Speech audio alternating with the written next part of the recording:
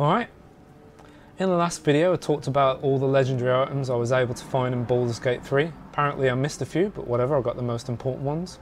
Anyway, some of you asked how I was able to do this, so I'm going to go into a bit more detail here about the process of finding these items and spawning them into your game. It's really easy to do, take about 5 minutes to set up, if that. Do want to say it's your choice to spawn the game's most powerful items into your actual playthrough save game. I don't recommend actually doing that, but it's your game, your choice, obviously. Personally, I just use this program to test things and plan builds out, that kind of stuff. Anyway, so you're going to need three things. First of all, well actually four things. You're going to need Baldur's Gate, hopefully you've got that.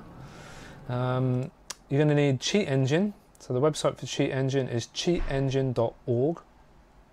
You're going to need a file for Cheat Engine that tells it how to interact with Baldur's Gate 3, bg3.ct, and you can find this by putting into Google Cheat Engine and Baldur's Gate 3, and it's the first result. And then you're going to need a list of codes, item codes, for each item that you want to spawn in. This is a right pain to get all these items. They have to get them from the game's files, and uh, to format them nicely like this, it took quite a while. I've done it for you, so look at you. And I'll be putting the link for this into the video's description. Now, all the um, items, I say all, I'm going to get somebody saying, you didn't go with the books. Um, these are all the items that are classified as armor or weapons. I didn't look at any other items, um, so you know, don't ask me about those. I'm not really interested in those right now. Uh, anyway, so all the magical armor and weapons in the game are in this file, most of them anyway. There might be a few that are missing. Apparently there's, some legendary spears that you can get part as part of Shadowheart's quest that aren't in here, but whatever. Does, not that important really.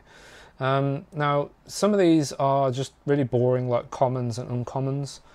Um, the ones that are legendary or very rare, which are the two rarest types in the game, I've tagged them for you. So all you have to do to find the legendaries control F legendary and it will go straight to the legendary items.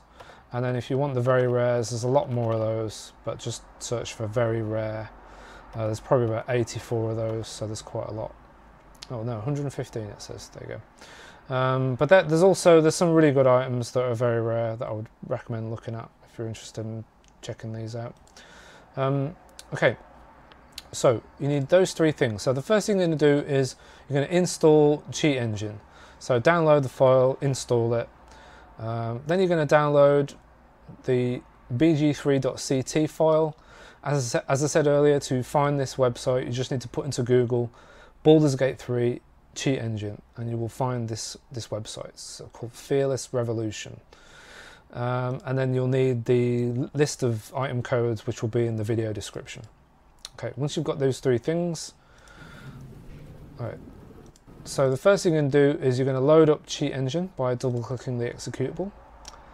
And then you're going to be doing two things. First thing you're going to do is load up the BG3CT file by double clicking it. So you click on the open button, click on bg3.ct, and then you'll know you've done it right because there's a list of commands here. Um, and these, these are the commands that will do things in Baldur's Gate 3. Now you need to hook the cheat engine um, executable into the game. You do that by clicking the little flashing button and going to Baldur's Gate 3. You know you're on the right one because it'll have the resolution next to it. Um, now obviously it's safe to do this because it's a single player game.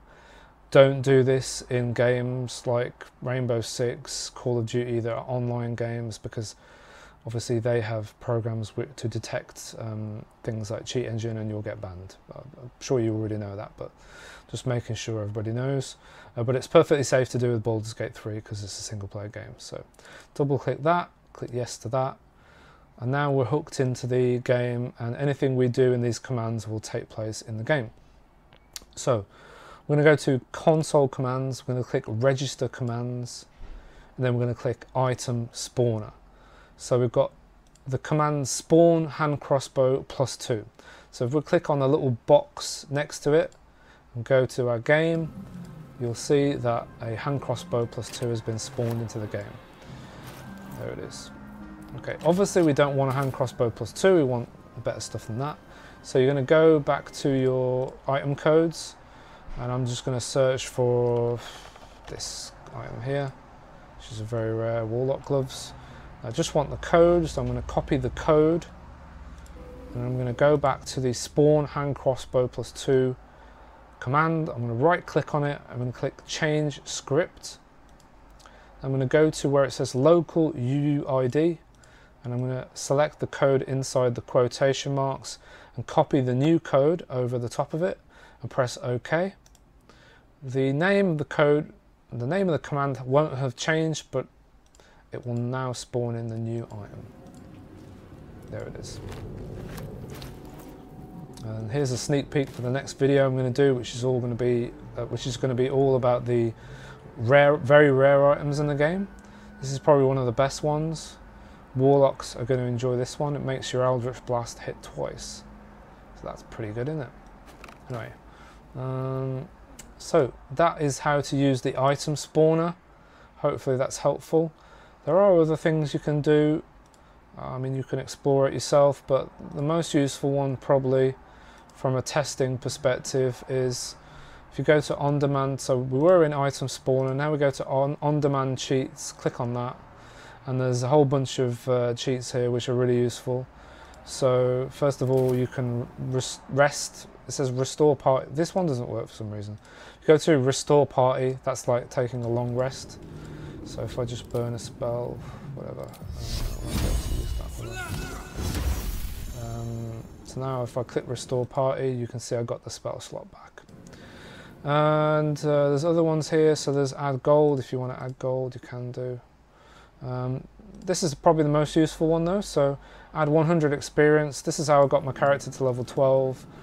And I did that so that I can test things, find out what the cleric gets at level 10 for example, test how attacks work and stuff like that. You know, if I've got an idea for a build and I want to test um, to see if it will, will really work, uh, then you can get yourself to level 10, uh, 12, sorry. Now you can do this by clicking the button and it will just give you the XP. However, this 100 experience, it's going to take a long time to get to level 12. That's a lot of clicks. So if you right click on the command, go to change script, change the 100 to 1000. Well, you could do 10,000 if you wanted. Um, and now I'm getting a 1000 and that's going to get to level 12 a lot faster. Uh, which means you can do your testing much more easily. So you can test out builds and so on, see how things work. So those are probably the most two, uh, the, the two most useful commands that you can get. Uh, but there are other ones here. You might want to use them. Maybe you're stuck. Maybe a bug's cause you to get stuck in the game, and you need to use a cheat to get past it. Whatever. Um, anyway, so that's Cheat Engine. Hopefully that's uh, answered all your questions on how to use that program. Any other questions, let me know in the comments. Um, yeah, okay. See ya.